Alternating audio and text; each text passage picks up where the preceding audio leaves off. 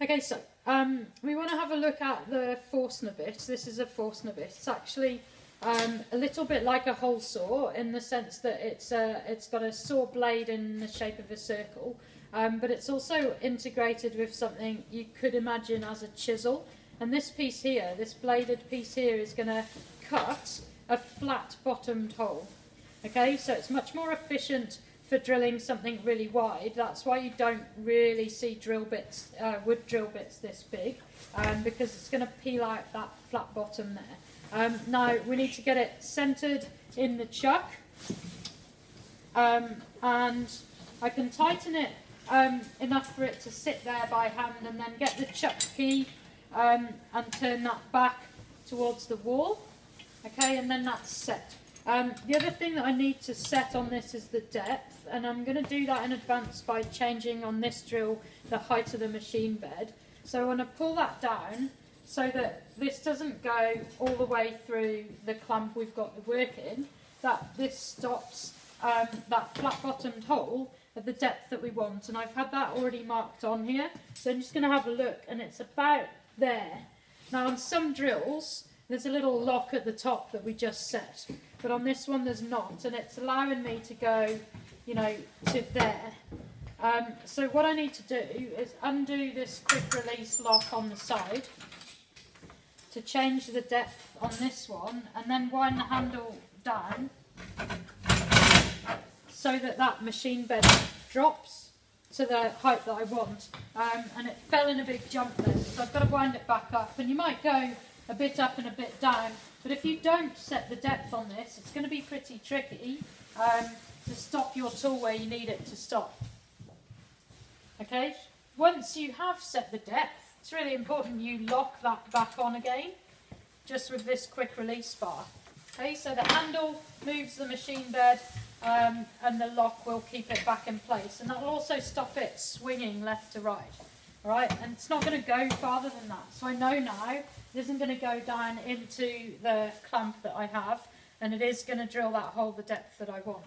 Um, now I've marked on the centre by crossing the diagonals, and I've got it locked already, my work flat into this vise. I've not over squeezed that, um, you know, it's not kind of getting crushed in there, but I'm just going to line up the middle. And there's a little point on this Forstner bit, and I'm putting that exactly where all my lines meet on the cross. And then just um, as ever with the pillar drill, I want to think about health and safety. So my hair's tied back. Um, I've got good covered shoes. Can you hand me some goggles? Just don't have goggles. Um,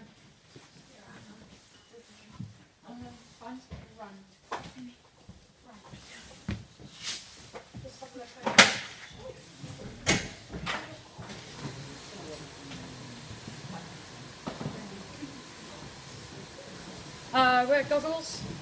Might press pause or something. Thank you. Okay, so um, now that we've got the safety sorted, it's always worth taking the time to do that, of course. Um, machine on. Doesn't hurt to do a test spin and check we've got that tool in right, although we did. And then literally I'm going to wind it down. Um, if you think about it, the outside of that is actually spinning, because it's quite big, much quicker um, than it would be if it was a drill bit on the inside because of its size. So I'm just going to allow it to take its time as I come down. So let it get up to full speed. One hand on the vise, just supporting it.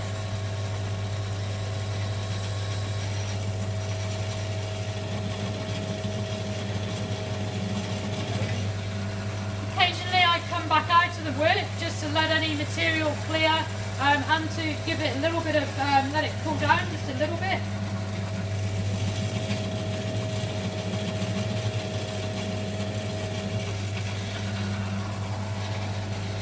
And we know with the depth setting on that that we're going to go um, as far as we can go until until that stops. But I'll show you what it's done um, and what it does is just create a little flat bottomed hole there um, that's really nice and neat.